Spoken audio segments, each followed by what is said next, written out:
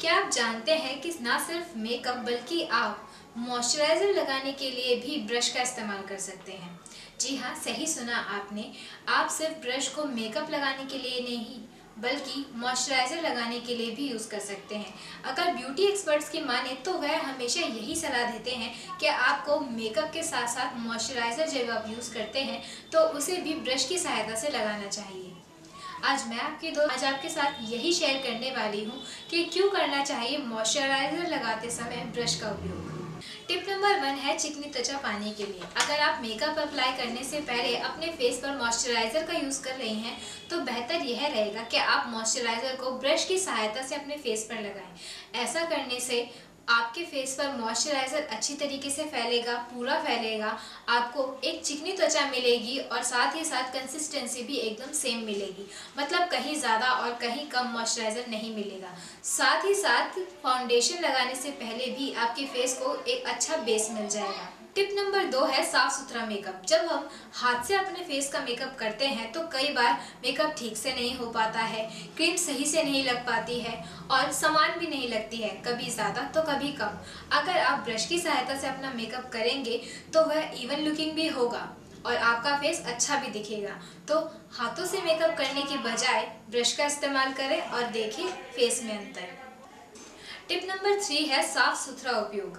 जब आप मॉइस्चराइज़र लगाने के लिए ब्रश का उपयोग करती हैं तो आप अपने फेस के किसी भी पार्ट को स्पेसिफिकली मेकअप कर सकती हैं। जैसे अगर आप हाथ का इस्तेमाल करके अपने फेस पर मॉइस्चराइज़र लगाएँगी तो इस तरीके से लगाएँगी।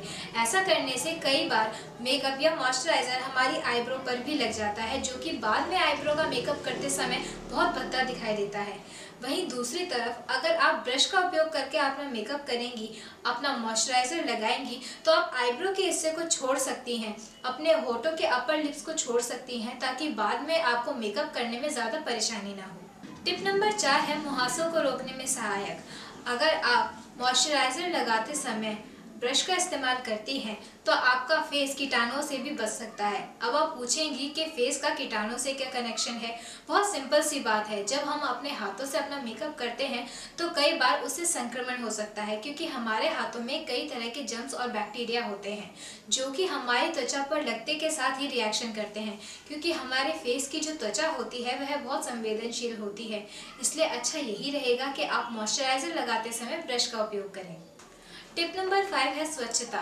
हमारे नाखूनों के नीचे का हिस्सा हमेशा साफ़ नहीं रहता है। उसमें तेल और काफ़ी बैक्टीरिया रहते हैं, जो कि नॉर्मली कोई भी लड़की अपने फेस पर नहीं चाहेगी।